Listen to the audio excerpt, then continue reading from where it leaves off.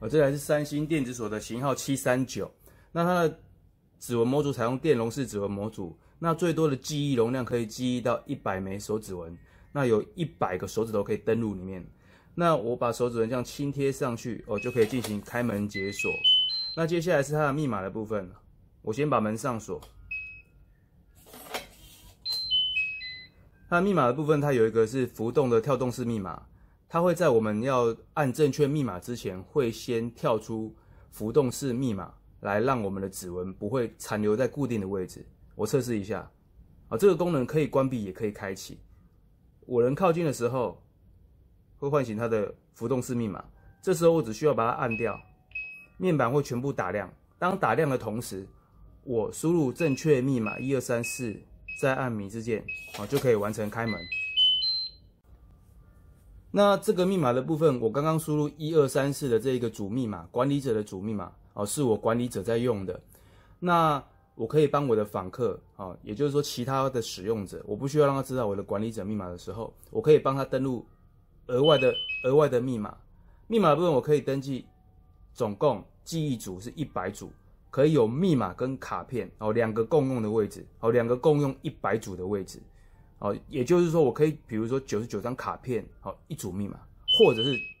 九十九组密码一张卡片。那当你在做设定登记的时候，你要必须先把它设定在你指定的位置啊，比如说哦零一哦就是卡片哦零二你设定成一组密码零三哦以此类推。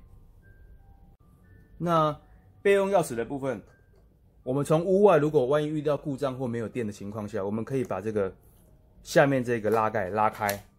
好，拉开之后，下面会有一个钥匙孔，我们只要把钥匙从底部向上插，再进行旋转就可以解锁。那一样记得，就是这个钥匙一样是放在屋外的安全处，好，提供紧急救援做使用，不要放在家里，也不要放在身上，好，没有办法复制，好，安全性考量没有办法复制。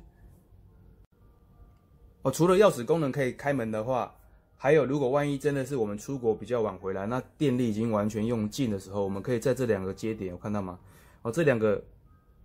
横的银饰像两个一的感觉，你只要拿九伏的电池往这边顶住不放，好，顶住的时候就不要动。接着我们用另外一只手去输入密码或者输入指纹，就可以进行解锁。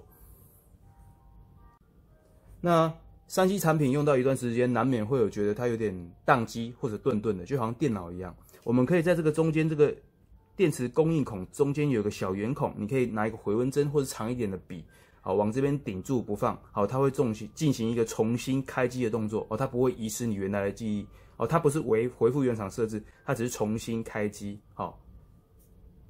那刚刚有提到说浮动密码的部分，它会在我靠近一定的距离的时候，它会进行提示。好。那这个一样距离是可以调节的，我们可以调节大概四到八公分的距离。当我们一旦靠近之后，它就会做这样的唤醒动作。如果你觉得这样的功能你不喜欢或者是不习惯的话，也可以把它做关闭，用我们的手直接触摸它就可以直接进行唤醒。电池的部分一样是有八颗，哦，我们一样是装四颗就足够了，大概可以使用六到八个月。哦，依家里的人数还有开关的次数而决定。那原则上我们在更换电池的就是四排为一个单位。啊，四排为一个单位，那尽量换同一个时期的电池，不要混搭电池，也不要装呃充电电池，因为如果充电电池万一发生故障的时候，哦，充电池如果损坏的时候，你会误以为是主机损坏，那这样子你就很难判断出，哎，到底是发生什么状况。好，那这个最右边这一个，啊，有看到吗？最右边这个是有个 A 跟 M，好，当我调成 A，往左边搬是 A，调成 A 的话，我先开门哈。我只要调成 A，我把门关起来，好，这个是会自动触发的，好，它会自动触发。好，那我再解解解锁开门，我把它调成 M，M 就手动。好，当我调成 M 手动的时候，比如说家里有很多访客，我现在要，比如说我要入错或办一个 party，我得要把门常态型的不上锁，这时候我把它调成 M，往那边推，调成 M，好，那感应器触发的时候，哦，它就不会触动，好，有没有？它不会触发，啊，不会上锁。再把它调回来，好，再按一次。哦，这样有看出来吗？还有这一个锁舌伸出来的时间，伸出来时间也可以经由主机去做调整。你可以让它快一点把舌头吐出来，也可以让它慢一点，呃，就看你使用习惯。接下来中间这一边有看到这边吗？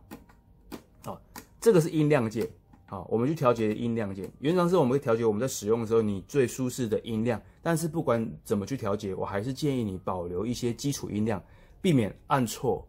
哦，去触发到锁机或者警报。好，这样就在使用上造成麻烦。我建议还是留一点音量，不要调成完全静音啊。因为如果调成完全静音的话，其实啊，如果外面有人在按，完全都没有声音的话，哎，我觉得这样也不太好。哦，小偷可以静静的试试看密码能不能开。那在设定的部分。啊，原则上我们要做任何设定的部分，就是按这一个设定键，啊，这个叫设定键，好，按一下设定键，接着其他做用主密码的密码做操作，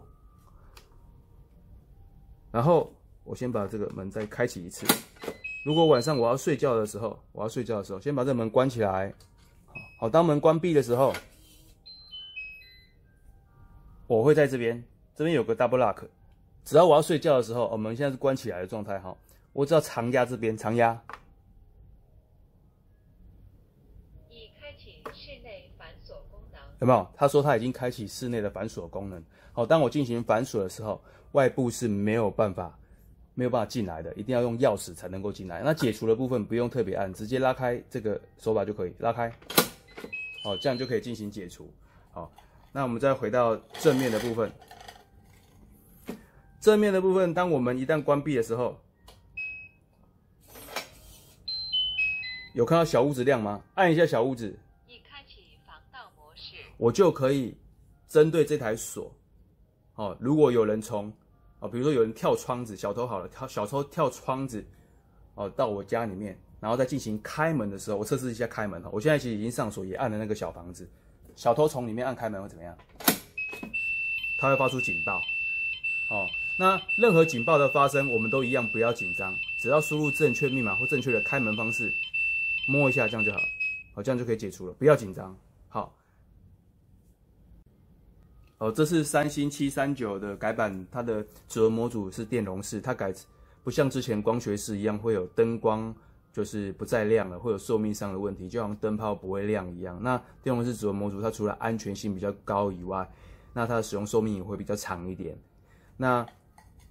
它的两边把手哦，两边把手已经不同于以往，因为之前的电子锁的整个外观主机哦，几乎